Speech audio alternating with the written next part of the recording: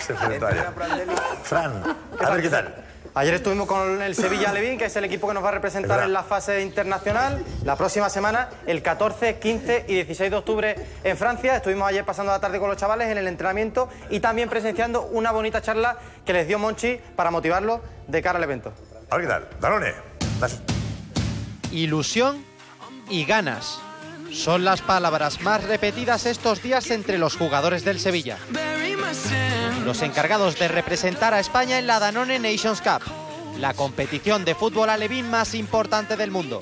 Los chavales apuran los últimos entrenamientos antes de partir hacia París, lugar donde se disputará la fase internacional de la Copa Danone los días 14, 15 y 16 de octubre.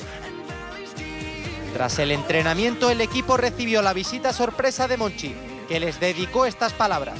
Vais a representar, evidentemente, al escudo que lleváis puesto, al Sevilla, pero vais a tener también la fortuna de representar algo todavía más grande, ¿no? Que es un país. Pido los valores que creo que el Sevilla siempre ha tenido, ¿no? El respeto entre vosotros mismos y el respeto al rival. No hay mayor victoria que aquella que se gana desde el respeto. Segundo lugar, cuando saltéis al campo, tener en mente las letras de nuestro himno. Dice que nunca se rinde.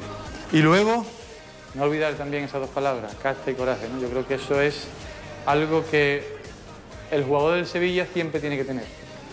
Con la felicidad de representar a su país y con las maletas cargadas de ilusión, el Sevilla ya está preparado para afrontar el reto de la Copa Danone.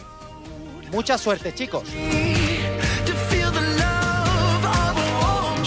La semana que viene, Danone Nations Cup.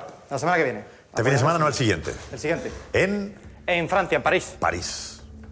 Miki Chávez va para allá, Miki va para allá. ¿Eh? Con Fran, San Denis, San Denis, ¿eh? San Denis.